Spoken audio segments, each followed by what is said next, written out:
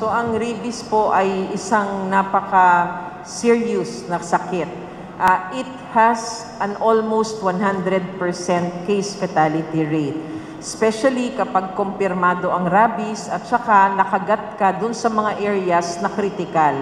Katulad ng inyong muka, katulad ng inyong mga kamay, paa, yung mga mararami tayong blood vessels because the the organism travels fast inside the body. So ito pong nangyayari sa atin ngayon kapag tayo po ay may alagang mga aso o di kaya may mga stray dogs sa labas.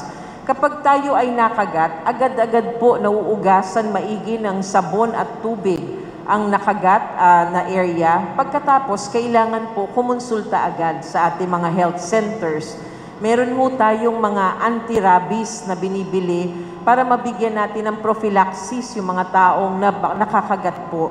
Ngayon, kung halimbawa sinabi sa health center na kailangan ng pumunta sa ospital, katulad niyang bata sa mukha siya kinagat, dadalhin siya sa ospital at sa ating mga ospital, meron po tayo nung tinatawag na rabies immunoglobulin na binibigay naman po dun sa mga tao na nakakagat ng rabies aside from the prophylaxis. Uh, dito po sa ating bansa, we already have recorded 275 cases of rabies from January 1 until this present time. And the top five regions or the top four regions na meron ho tayo mga rabies would be Region 3, Calabarzon, Region 12, and Region 11. And usually po, kapag nakakakita tayo ng kaso ng rabies, most of them would be bitten by domesticated animals. Ibig sabihin, yung mga pets o yung mga kasamang mga hayop dun sa kanilang bahay.